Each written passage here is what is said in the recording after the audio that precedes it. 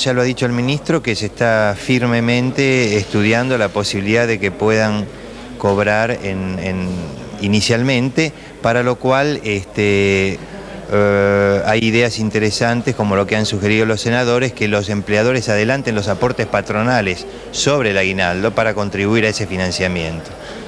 En otro orden de cosas quiero hacer una aclaración porque me parece muy importante en relación con lo que otro diario esta mañana ha señalado acerca de que habría veedores del Ministerio de Economía en el INDEC. Esto de ninguna manera es cierto.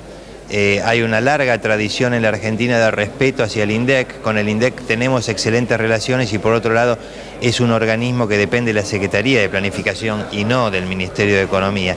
Simplemente se conversa con el INDEC muy seguido para, sin violar el secreto estadístico que existe, ver bueno, en qué sectores están originando los aumentos de precios. Eso es todo.